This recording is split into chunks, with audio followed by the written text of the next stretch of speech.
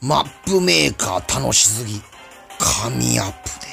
Shall we have breakfast together?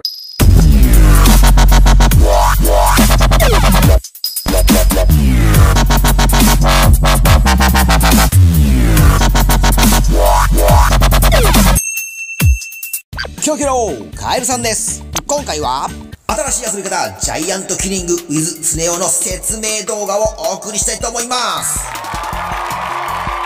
ジャイアントキリングとは、番狂わせを意味する英単語である。ということで、マップメーカーでそういうことができるようなステージを作りました。ルール説明。第8の変則チームバトルロイヤルになります。こちら側がジャイアントスネ夫。こちら側がジャイアントキリングする側になっております。勝利条件。ジャイアントスネ夫側、8名を殲滅。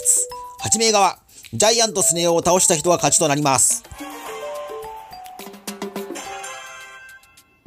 注意点 !8 名側はスタート時、草むらを抜けるまで攻撃ウルトガジェット禁止になっております。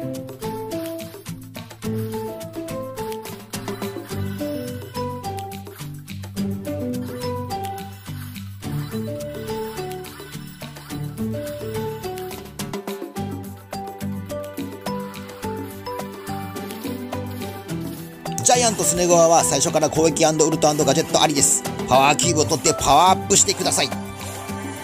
今回のジャイアントスネ夫は、えーと、サンディとジーンになっておりますね。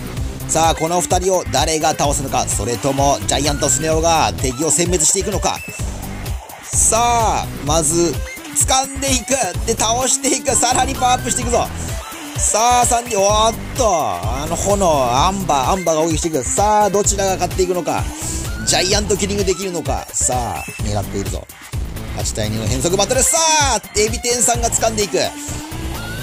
そっと壁を使ってうまく当てていくけども、どうなんでしょうか。3D が隠れていく。3。2、あー失敗している失敗しているさあ、狩られていく狩られていくアタックしていく弾かれて、おー倒されていくさあ、回復もしていって、さあ、どちらが勝っていく？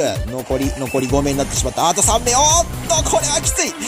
さあ、ジャイアントスネ夫が勝っていきそうだ、これは。おっと、危ない。さあ、どっちが勝っていく？さあ、ジャイアントキリングできるのか？どうなのか？さあ、倒されていく。これはピンチ。うわージャイアントキリング失敗。今回はジャイアントスネ夫側の勝ちとなっております。あルール分かったかな？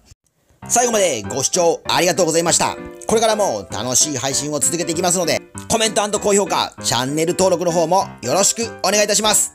では皆さん、次の動画でお会いしましょう。お疲れ様でした。またに。ケロキョロ